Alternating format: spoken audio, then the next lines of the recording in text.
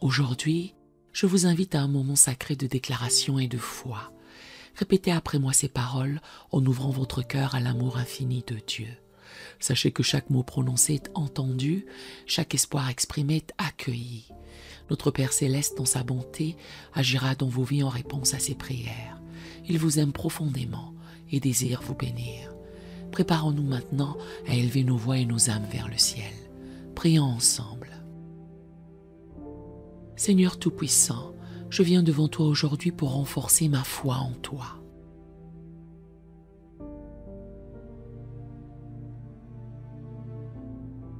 Même au milieu des crises et des tempêtes de la vie. Ta parole dit dans Hébreu 11, verset 1. Que la foi est une ferme assurance des choses qu'on espère, une démonstration de celles qu'on ne voit pas.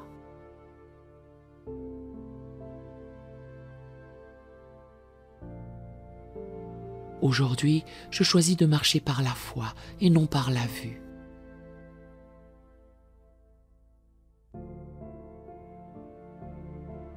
Peu importe les circonstances qui m'entourent, je garde mes yeux fixés sur toi.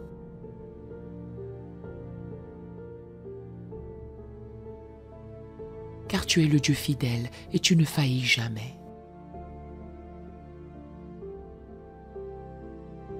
Seigneur, je proclame que ma foi en toi est inébranlable.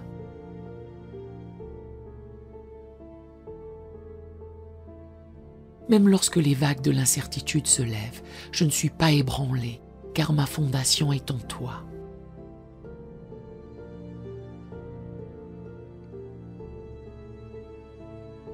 Comme il est écrit dans Matthieu 7, versets 24 à 25. Quiconque entend ces paroles que je dis et les met en pratique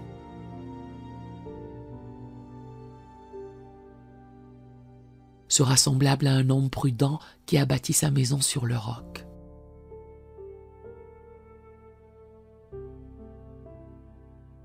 La pluie est tombée, les torrents sont venus. Les vents ont soufflé et se sont jetés contre cette maison.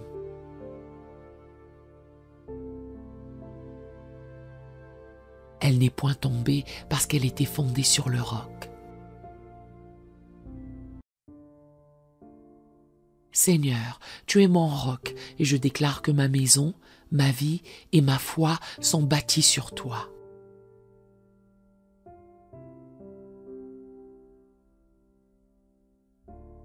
Aucune tempête, aucune crise ne pourra me renverser, car tu me soutiens.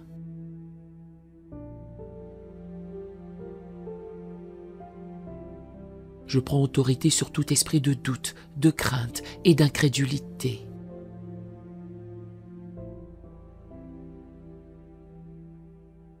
qui tente de m'attaquer en période de crise. Ces esprits n'ont aucun pouvoir sur moi. Il est écrit dans Jacques 1, verset 6. Mais qu'il demande avec foi sans douter. car celui qui doute est semblable au flot de la mer, agité par le vent et poussé de côté et d'autre.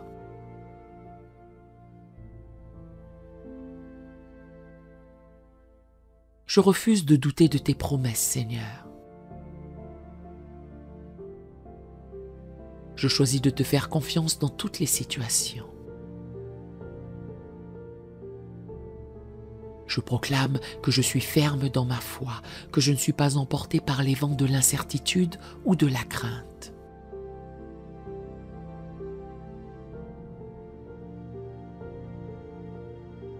Seigneur, je te demande de renouveler ma foi en toi chaque jour.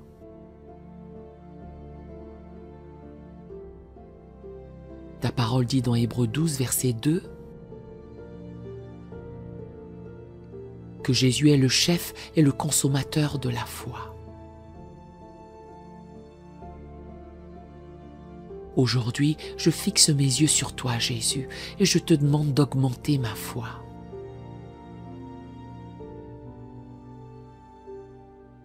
Que chaque défi auquel je fais face devienne une opportunité de renforcer ma foi.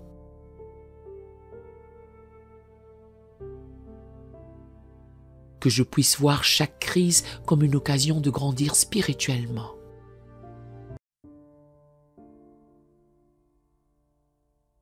de me rapprocher de toi et de te faire confiance encore plus profondément.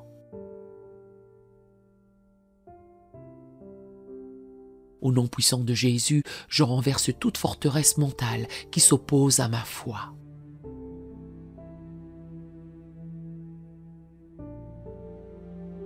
Il est écrit dans 2 Corinthiens 10, versets 4 à 5.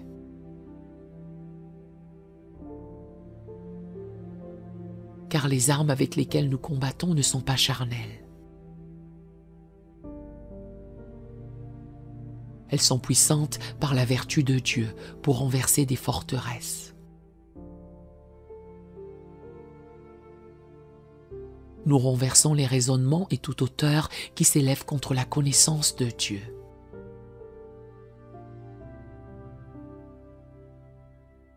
Et nous amenons toute pensée captive à l'obéissance de Christ. Je prends toute pensée captive et je la soumets à l'obéissance de Christ.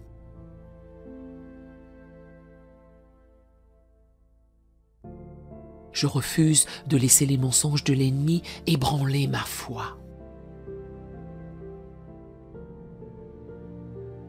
Je choisis de m'appuyer sur ta vérité, Seigneur, et de marcher dans la pleine assurance de tes promesses.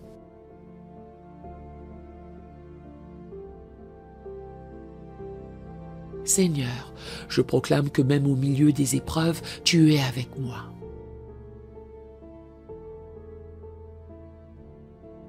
Comme il est écrit dans Psaume 23, verset 4. Quand je marche dans la vallée de l'ombre de la mort, je ne crains aucun mal, car tu es avec moi.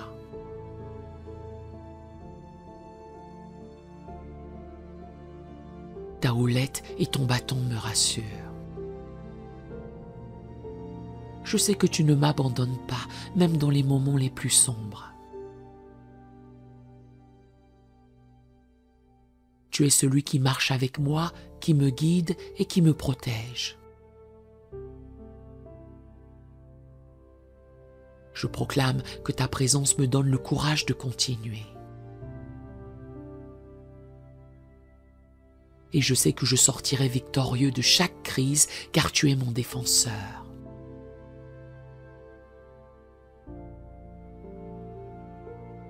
Seigneur, je refuse de laisser la crainte ou l'inquiétude dominer mon esprit.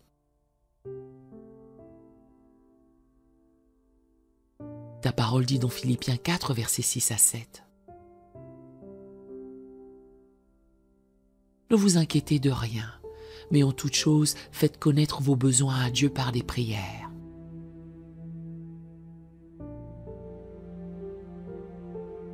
et des supplications avec action de grâce. Et la paix de Dieu qui surpasse toute intelligence gardera vos cœurs et vos pensées en Jésus-Christ.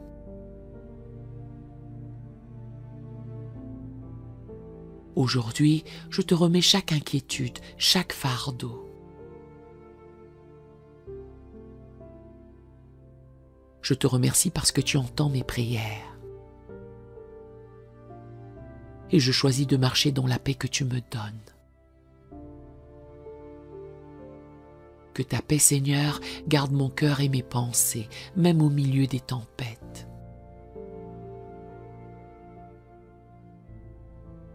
Je proclame que je marche par la foi et non par la vue.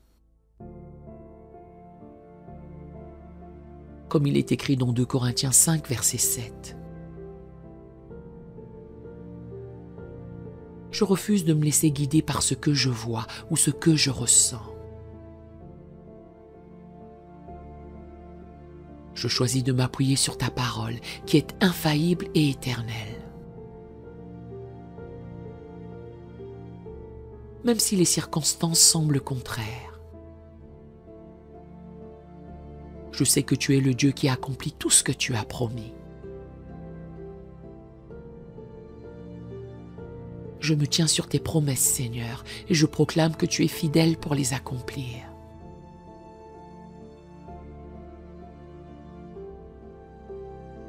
Seigneur, je te demande de m'accorder une foi surnaturelle dans les moments de crise.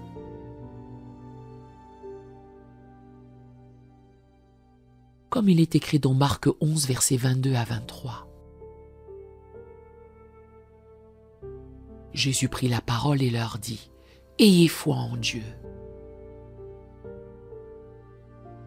Je vous le dis en vérité, si quelqu'un dit à cette montagne, ôte-toi de là et jette-toi dans la mer, et s'il ne doute point dans son cœur.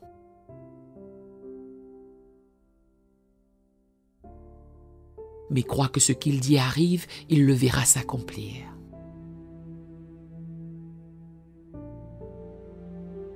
Aujourd'hui, je parle à toute montagne de difficultés, de crises ou d'incertitudes dans ma vie.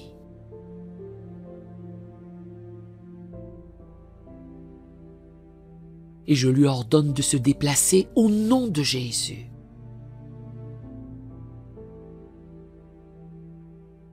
Je crois que par ta puissance, Seigneur, chaque obstacle sera renversé et chaque montagne sera déplacée.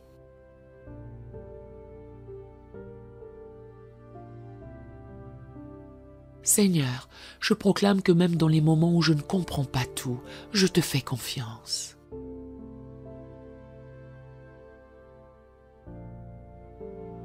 Il est écrit dans Proverbe 3, versets 5 à 6. Confie-toi en l'Éternel de tout ton cœur et ne t'appuie pas sur ta sagesse.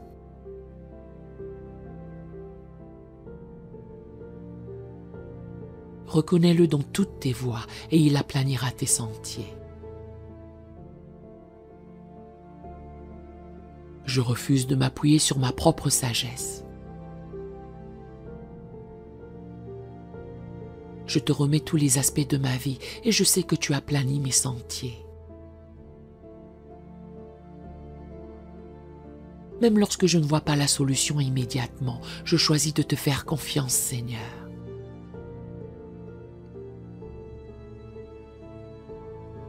Tu es le Dieu qui ouvre des chemins là où il n'y en avait pas.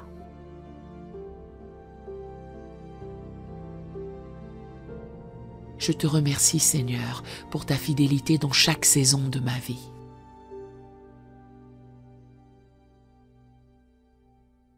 Même dans les temps de crise, je choisis de te louer, car tu es le Dieu qui contrôle tout.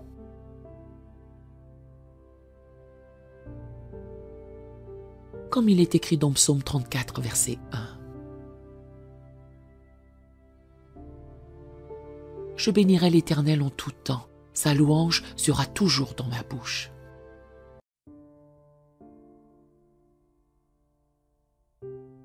Je refuse de laisser les circonstances éteindre ma louange. Je te loue pour ce que tu fais, pour ce que tu as déjà accompli et pour ce que tu vas accomplir.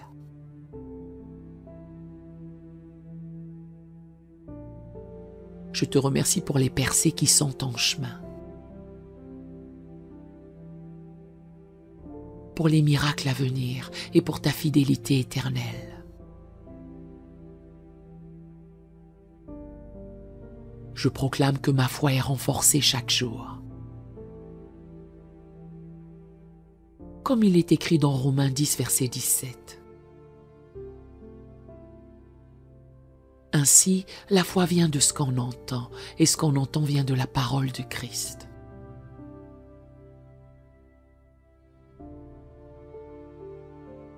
Je choisis d'immerger mon esprit dans ta parole, Seigneur.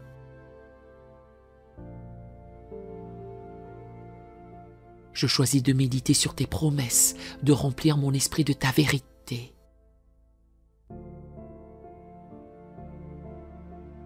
Et de repousser tout mensonge de l'ennemi. Que chaque jour ma foi grandisse, que je sois enraciné plus profondément en toi.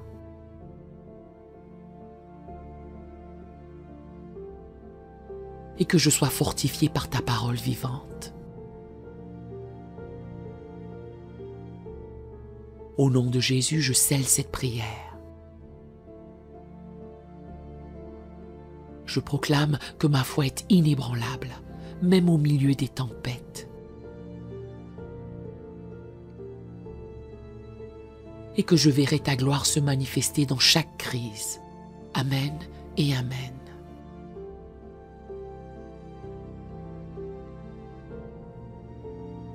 Si cette prière vous a béni, écrivez un Amen dans les commentaires à la gloire du Seigneur. Nous avons d'autres prières sur la chaîne qui pourraient vous bénir. Nous vous invitons chaleureusement à vous en servir quand vous en aurez besoin. Que l'Éternel Dieu vous bénisse merveilleusement. Nous aimerions vous donner l'opportunité de faire de Jésus le Seigneur de votre vie. Voulez-vous bien prier avec moi? Dites Seigneur Jésus, je me repens de mes péchés Viens dans mon cœur. Je fais de toi mon Seigneur et Sauveur. Et merci Seigneur pour le baptême du Saint-Esprit en moi. Dans le nom de Jésus. Par cette simple prière, nous croyons que le Saint-Esprit vous conduit sur le chemin de la nouvelle naissance. Allez dans une bonne église dont le fondement est la parole de Dieu, passez par les eaux du baptême et donnez à Dieu la première place. Nous espérons de tout cœur que ce message vous encouragera. Si vous connaissez quelqu'un qui puisse être encouragé, s'il vous plaît, envoyez-le lui pour nous aider à atteindre plus de gens et à propager l'évangile. Édifions le corps de Christ ensemble. Appuyez sur la cloche des notifications et merci infiniment de nous soutenir en vous abonnant à notre chaîne. N'hésitez pas à laisser vos requêtes de prière dans la section des commentaires. Sachez que même si vous ne voyez pas de réponse à votre requête, que ce soit sur YouTube, email, Facebook ou sur Messenger, nous avons prié pour vous. Nous invitons humblement le corps de Christ à soutenir chaque requête en écrivant une prière dans la section commentaires. Tenez-vous ferme dans la foi avec nous pendant que nous prions. Que la grâce et la paix du Seigneur Jésus-Christ soient avec vous tous et qu'il vous bénisse merveilleusement.